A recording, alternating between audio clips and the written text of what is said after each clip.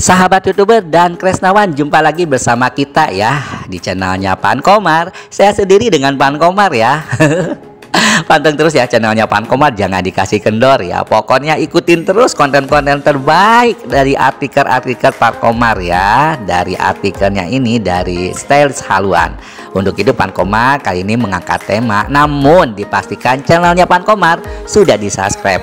Kalau sudah di subscribe itu tandanya sudah mendukung biar Pan Komar lebih semangat lagi mencari artikelnya ya.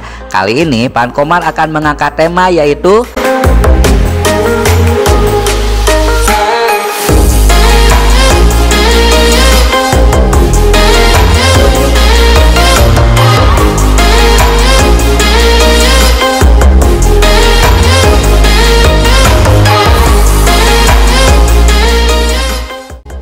Timnas Indonesia punya modal ke semifinal di Piala AFF U2023 usia 23.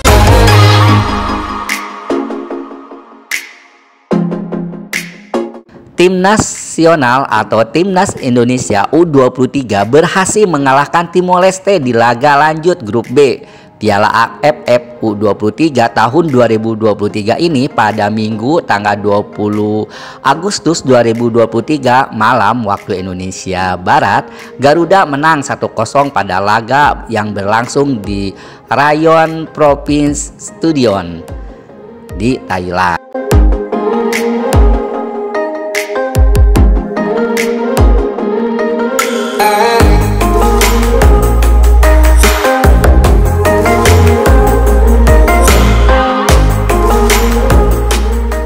Gol tunggal itu dicetak oleh Ramadan Sananta di akhir babak pertama saat laga berlangsung. Skuad Garuda di bawah asuhan Sintayong yang tampak sulit membobol gawang Timor Leste.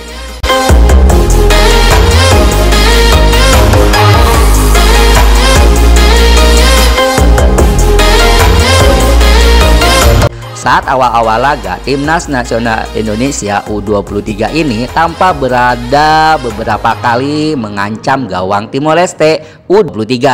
Namun tak lama Timor Leste U23 dapat memberikan perlawanan. Hasilnya Timor Leste U23 nampak beberapa kali mendapatkan peluang emas beruntung peluang itu mampu diantisipasi oleh pertahanan Timnas Indonesia U23.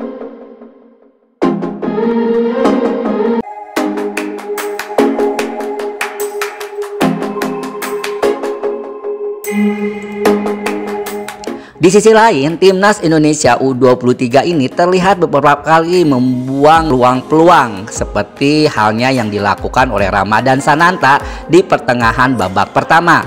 Sananta akhirnya bisa mencetak gol di menit-menit injury time pada babak pertama lewat sundulan hasil dari umpan David Beckham.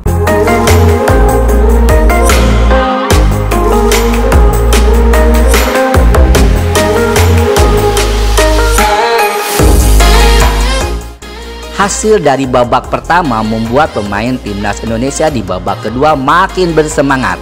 Anak-anak asuhan Sintayong tampak beberapa kali mendapatkan peluang dan bahkan ia juga ikut memberikan Ramadan Sananta kesempatan untuk mencetak gol.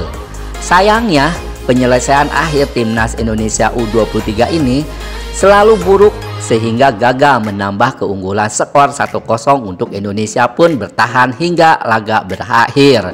Dengan hasil tersebut, timnas Indonesia U23 naik ke peringkat kedua di grup B dengan perolehan 3 poin.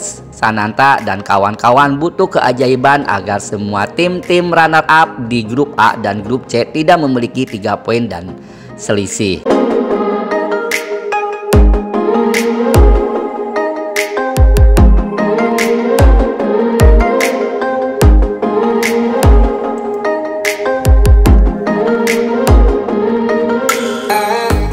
Dengan hasil tersebut, timnas Indonesia U23 naik ke peringkat kedua di grup B dengan perolehan 3 poin.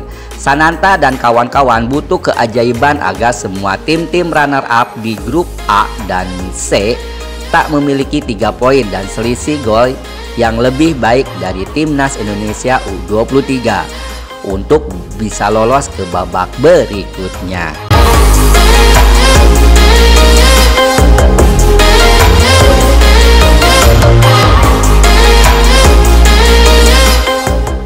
Demikian informasi mengenai dunia bola apa yang disampaikan oleh Pankoma di Piala AFF 2023 usia 23 di Thailand. Alhamdulillah ya. Untuk itu Pankomar undur diri sampai ketemu lagi di My Biz channel Pankomar. See you next again. Bye bye.